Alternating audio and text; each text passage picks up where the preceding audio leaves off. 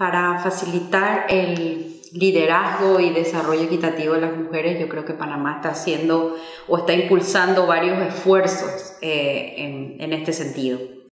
Algunas, eh, algunas cosas que se podrían eh, potenciar es, por ejemplo, brindando oportunidad a las mujeres para ser mayor, más productivas, para realizarse profesionalmente no solo impulsando programas de empleo dirigidos a, mujeres, sino también facilitándole la conciliación familiar.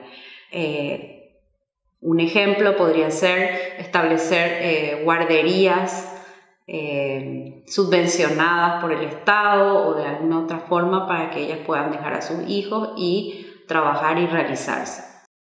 Eh, otro punto muy importante que, se está trabajando y, se debería potencializar es la educación, especialmente eh, dirigido a las niñas eh, en un ambiente de igualdad y de equidad. Y, por supuesto, el pleno acceso a la salud reproductiva y a la educación sexual. Eh, con énfasis en, la adolescencia.